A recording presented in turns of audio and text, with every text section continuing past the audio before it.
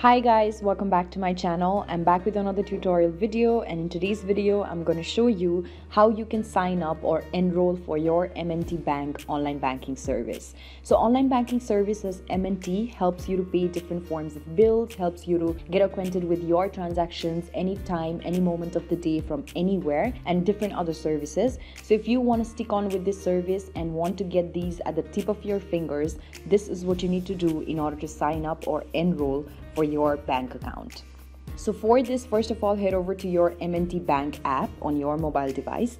And there you can see you will land on an interface like this where you'll have to enter your user ID and passcode in order to log in. But since you don't have your online banking account yet, you have to tap on the enroll button below the login button.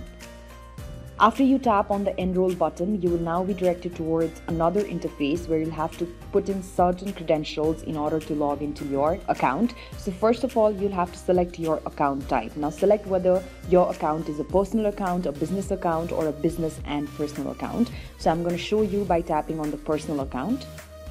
After doing that, wait for a certain time and then you'll have to give in your account information. The first thing that you'll have to give them the information about is your account number. So type it in over here. Then also type your social security number, your correct date of birth, and then also give in your debit card information. So you can also give in your debit card information and then tap on continue. After tapping on continue, you'll have to go on through a few more procedures by means of which you'll get logged in or you'll get signed up and enrolled for your M&T online banking service. So this is basically how you can enroll to the mobile banking if you already have an account at the M&T bank.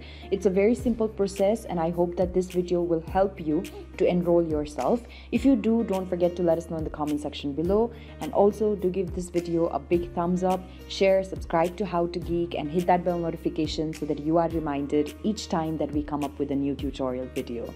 Thank you for watching, you guys. I'll see you around next time.